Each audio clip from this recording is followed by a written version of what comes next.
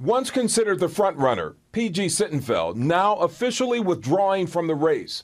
In a Facebook post, he maintains his innocence against federal bribery, fraud, and attempted extortion charges. Meanwhile, Vice Mayor Christopher Smitherman tells me he too is not going to make a run for mayor this time around.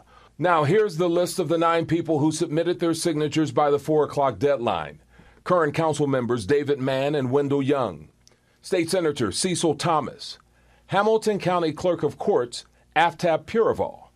They are some of the most recognizable names. It's a little crazy here, uh, and the chaos that we've experienced in recent months um, uh, needs to end. And I, I've, I think at this point, I've got the experience. Name recognition is probably going to play a huge role in this contest. It's hard not to be inspired by the fact that everyday Cincinnatians want the best for this region and decided to jump into the arena. Raffel Prophett, Kelli Prather, Herman Najoli, Adam Koehler, and Gavi Begtrup are also on the list in the nonpartisan primary. Considering that we have a, a, a woman sheriff for Hamilton County, we have an all female, all woman commission this is cincinnati's opportunity to catch up with the rest of the county or you know of the world and elect the first black woman mayor cincinnati is this awesome city with so much history and so much potential but we're we're not reaching our potential you know i um,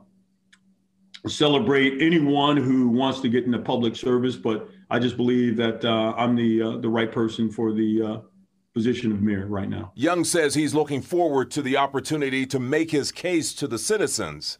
Koehler says he wants equity for everyone.